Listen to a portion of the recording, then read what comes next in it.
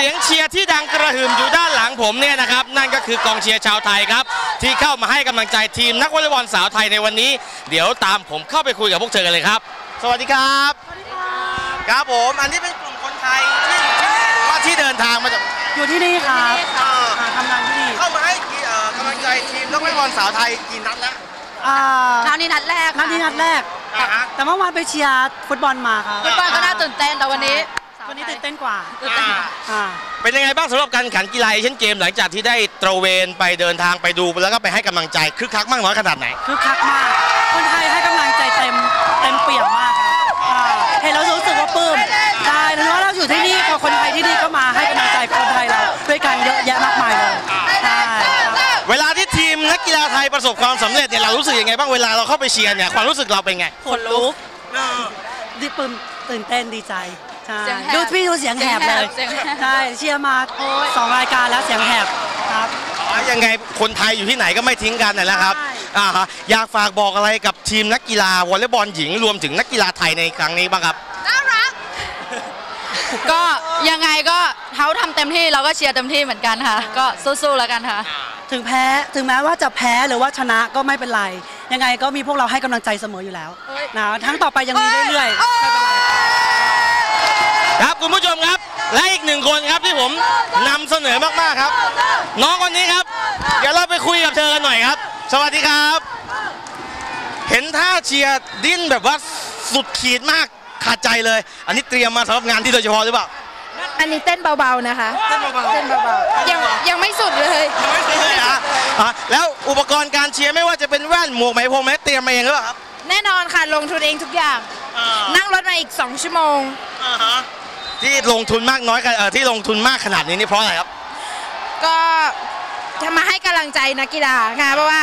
เขาจะได้มีกำลังใจในการต่อสู้ แล้วก็จะได้ชนะเพื่อเอารางวัลให้ไทยแลนด์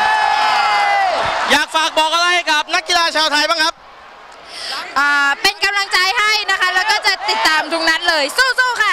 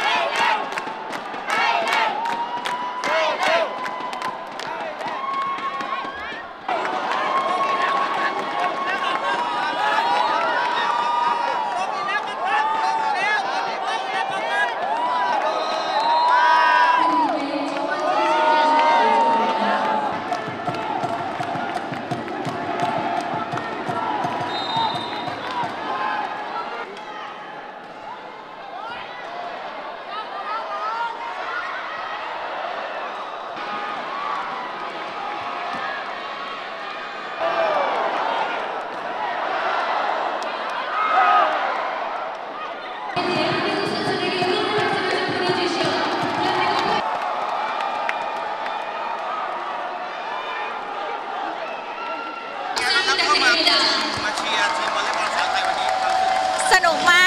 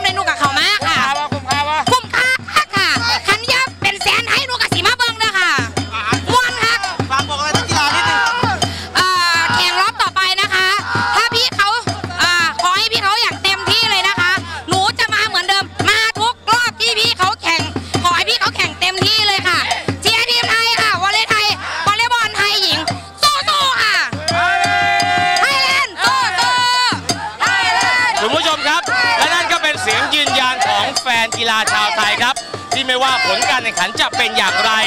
พวกเจอครับก็มีเสียงตบมือ เสียงหัวเราะ แล้วก็คำปลอบใจครับให้กับนักกีฬาไทยเสมอมาครับ